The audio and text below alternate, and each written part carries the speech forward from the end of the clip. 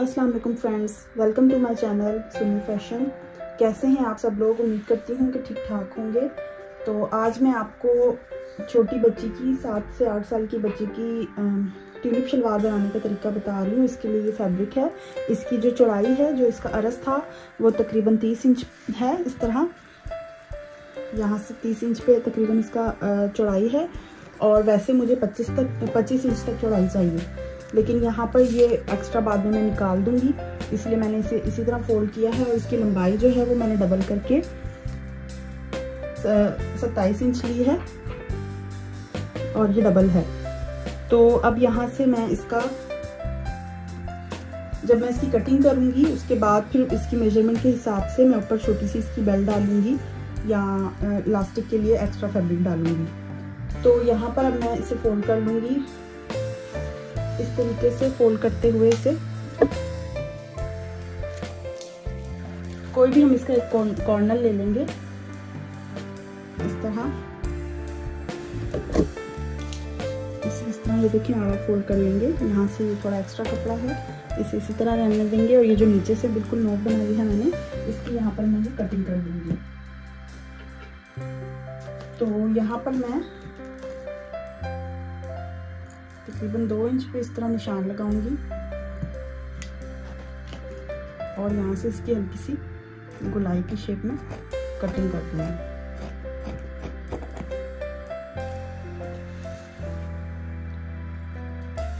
ये कटिंग दो इंच ही करिएगा, दो इंच से ज़्यादा करेंगे तो वो ज़्यादा चौड़ा हो जाएगा। ये देखें, इस तरह इसकी कटिंग कर ली है। अब हम इसे इस तरह खोलेंगे।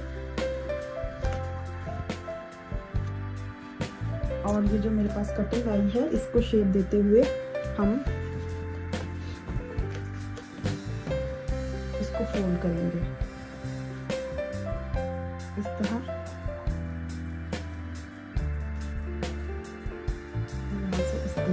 ये देखिए। हमें बिल्कुल जैसे हम आ, समोसा अगर बनाते हैं तो उसकी पट्टी को जैसे हम शेप देते हैं तो कौन शेप हमें वही शेप देनी है यहाँ से। तो यहाँ से जो नीचे से इसकी चौड़ाई है, वो मैं तीन इंच पे रख लूँगी। ये देखें इस तरह।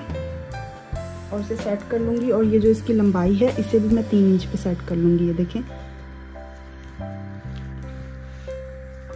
लंबाई और चौड़ाई दोनों तीन इंच पे सेट कर लेंगे। ये देखें, यहाँ से यहाँ से भी तीन इंच ओपन होगा। और इसकी सेटिंग हम अपने हिसाब से थोड़ी सी अच्छे तरीके से कर लेंगे।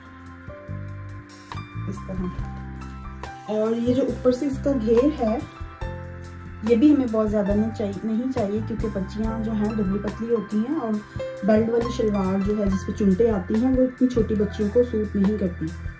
तो इसका घेर भी हमने बहुत ज़्यादा नहीं रखना। ये देखिए, अब मैंने इसकी सेटिंग इस तरह कर ली है कि यहाँ से नीचे से इसका पाँचा मैंने तीन इंच चौड़ाई और तीन इंच गहराई में ले लिया इस तरह।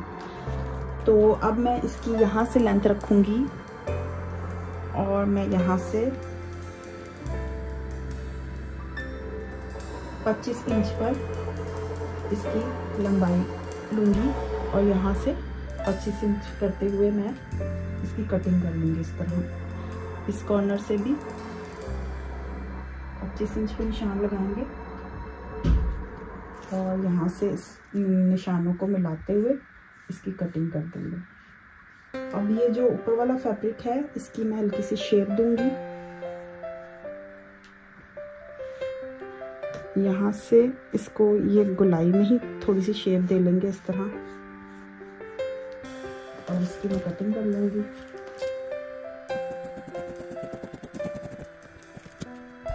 अब जो है, ये जो मैंने कटिंग की है, इसके साथ साथ मैं निशान लगा लूँगी।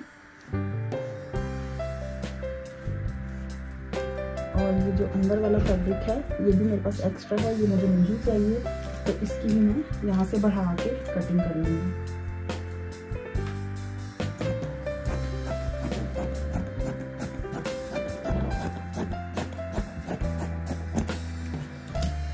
ये एक्स्ट्रा फैब्रिक निकल गया, और ये हमारे पास इस तरह, ये जो निशान लगा हुआ है, इसे हम और अच्छे से डार्क कर लेंगे, ताकि जब हमारी फैब्रिक की सिलाई आए तो वो इसके ऊपर आए, इस तरह रख के। और ये वाली जो हमारी क्रीस है, इसको मैं की मदद से अच्छी तरह दिखा लूँगी क्योंकि सिलाई करते हुए ये भी जब हमारे पास क्रीज का निशान आएगा तो हमें काफ़ी आसानी होगी। तो इसे दोनों तरफ़ से इस तरह बिठा लेंगे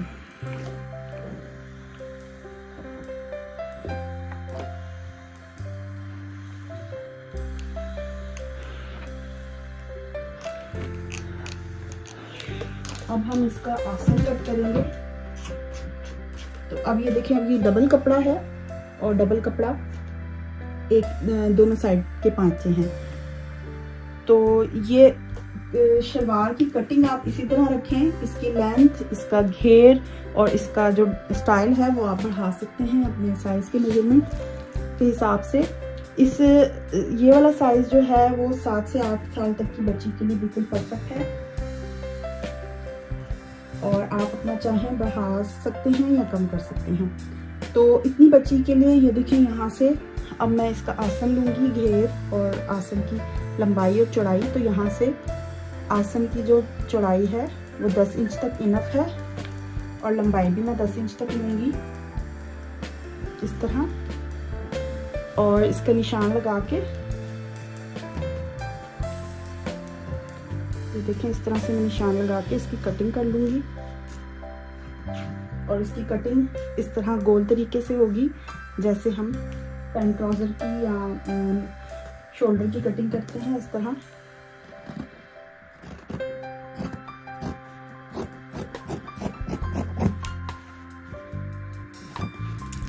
ये देखें ये इसकी कटिंग हो गई है। अब हमें जितनी लेंथ चाहिए अगर वो कम है तो हम उसकी, ये देखें, अब मैं इसकी आधा इंच यहाँ से मार्जिन छोड़ूँगी और आधा इंच ऊपर से मार्जिन छोड़ूँगी जो सिलाई में आएगा तो मेरे पास अब ये 25 इंच लेंथ है इसकी। और मैंने 25 से थोड़ा बढ़ा के काटा था इसको। तो 25 के बाद अब मुझे जितना चाहिए उतना मैं बेल्ट लगा लूँगी। तो मुझे 28 इंच चाहिए तैयार तो मैं यहाँ पर तीन इंच बेल्ट का लूँगी और एक इंच, डेढ़ इंच एक्स्ट्रा मैं लूँगी इसका इलास्टिक के लिए। तो यहाँ पे हमें अब चुन की ज़रूरत नहीं है, हम इसको बेल्ट की शेप नहीं देंगे, हम इसकी शेप यही रखेंगे और इतनी ही इसकी, जितना है चौड़ाई, इतनी ही बेल्ट हम लगाएँगे।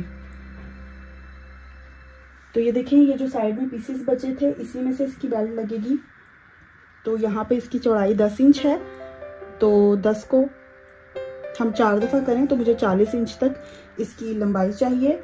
और ये जो इसकी ये वाली है विड ये मुझे साढ़े चार इंच तक इसकी लंबाई चाहिए। तो आप अपने साइज़ के मेज़रमेंट के हिसाब से अकॉर्डिंग रख सकते हैं। इसकी लेंथ आप पहले ज़्यादा बढ़ा लें, या अगर फुल आपको बड़ी लेडीज़ की टिली शलवार बनानी है तो उसके हिसाब से आप कटिंग का स्टाइल यही रखें और आप अपनी लेंथ और चौड़ाई और घेर सब कुछ बढ़ा सकते हैं। यहाँ पर ये देखिए मैंने ये फैब्रिक कट कर लिया है, इसे जोड़ लगाकर मैं यहाँ पर अटैच कर दूँगी बाद में। लेकिन सबसे पहले जो अटैच करेंगे वो है इसका आसन। ये देखें, इस तरह खोल लेंगे, ये डबल कपड़ा एक दूसरे के ऊपर है।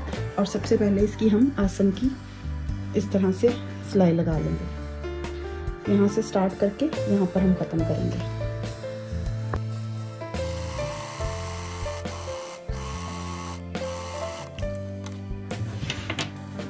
सिलाई लगाने के बाद इसे हम सीधा करेंगे। तो ये हमारा आसन तैयार हो गया इस तरीके से।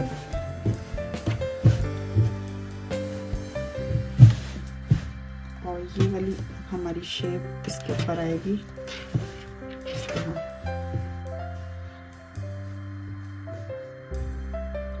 तो सबसे पहले यहाँ पर यहाँ पर सबसे पहले हम इसके ऊपर लैस लगा लेंगे। अगर आपने कोई लैस लगानी है तो सबसे पहले लैस लगा लें, नहीं तो फिर इसी तरह इसको सिलाई लगा लें। ये देखिए, आसन जोड़ने के बाद ये मेरा आसन जुड़ गया है यहाँ से। अब मैं इसके ऊपर लैस अटैच करूँगी। तो लैस के लिए ये देखें पहले हम लैस अटैच करेंगे और बाद में पाँच यहाँ से स्टिच करेंगे। तो इसके लिए पहले आप चाहें तो इसकी पूरी इस तरीके से स्टिच करते हुए यहाँ से नीचे से घुमाकर फिर वापस इस तरफ़ ले आए और उसके बाद इसके नीचे मैं सेम मैचिंग की लेस लगा रही हूँ। तो ऊपर या नीचे जैसे भी आपको पसंद हो, आप लेस रख के इसको अटैच कर सकते हैं।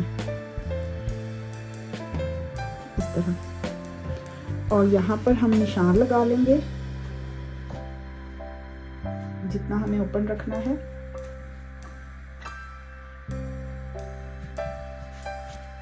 यहाँ पर जितना भी ओपन रखना है, इसके ऊपर निशान लग जाएगा। तो अब इसके ऊपर हम लैस लगाते हैं और सात सिलाई लगाते हैं। ये देखिए, लैस लगाने के बाद इसकी लुक कुछ इस तरह से आई है।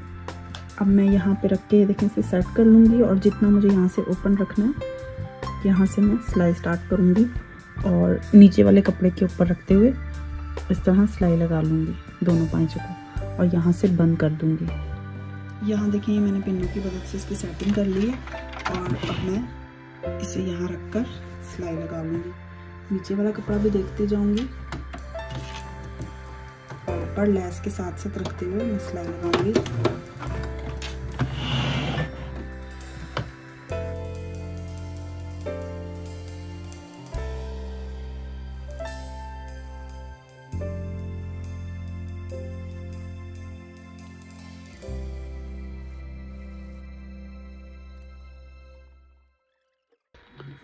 तो ये देखें शलवार की फाइनल लुक लास्टिक अभी इसके अंदर मैंने नहीं डाला।